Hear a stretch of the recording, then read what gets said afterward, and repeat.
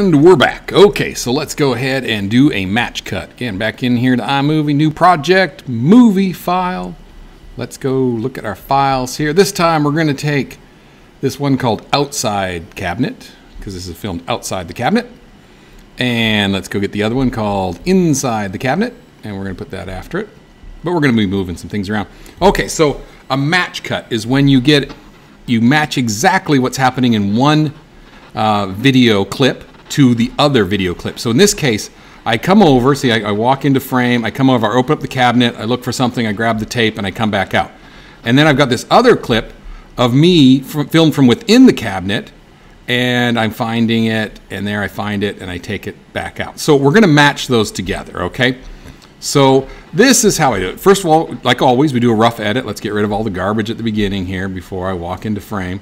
Okay, so here's me walking into frame. So I just want just, just maybe when I start to see my belly. There we go.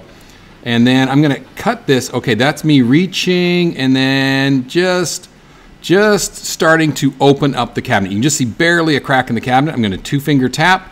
I'm gonna say split the clip. Okay, now let's go get the other part to match that. Okay, so let's go get the one from the inside the camera. Okay, so let me just find where I just barely open up about right there. I'm gonna two finger tap. I'm going to split the clip there, okay?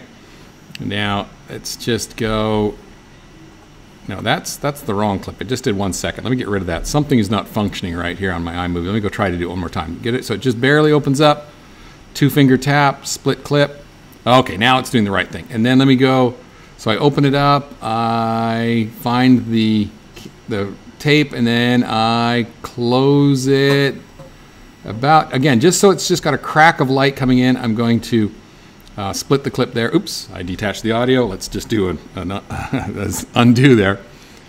Okay, let me go, where are we at? About right there. And it won't let me split clip. It's mad at this clip right there. we go. Now we split the clip. I just had to select the clip again. And so, so now I've got this little chunk right here. This is all garbage, so I'm going to go ahead and delete that. This is all garbage. I'm going to delete that. All I'm left with is me digging this out of here, okay? So now let's go and let's go put that into uh, between these two clips here. And let's just see how it's looking right now. Again, it's a rough edit. So I walk over. Oh, it looks like I got a little bit too much of a delay there. And then, I, of course, I haven't clipped, I haven't trimmed this. So first of all, we got to trim this just, so we, I'm just trimming, moving that edge forward till I get a little crack of light and right there. And then of course this finishes by just closing and I got to trim this to about when I close it. Okay, about there. Okay, now let's take a look at this. Okay, so I walk into frame. Oh, find it. Okay, and then I can just, once I walk out of frame. And where am I at? Right there, I walked out of frame. Now you it's funny thing is when you go back to watch your own work, you actually don't see the edit. It just is, it looks very natural. Like you just watch it and go, okay, here he is getting it. Grabs that there, finds it, and do it. Okay, now what I what's giving it away now is the audio is not matching. This camera here is picking up a lot of background noise, probably from the air conditioner, where this camera wasn't hearing anything. So I'm going to take these two clips. I'm just going to hold down my command button so I can select two clips at once. And I'm just going to turn the, the volume down on those just because we're just hearing way too much of the air conditioner. It's not matching what the audio is. Still, I can still turn it down even more. Let me select those clips again. Turn it down even more, 30%. Okay. There it is. Finds it, goes back. Everything is good. And if you just you just want to scrub over your work just to make sure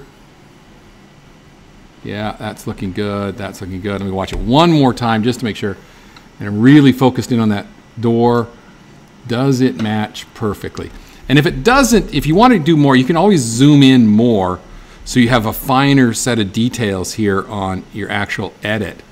But I think I've got the doors matching perfectly. And this is called a match.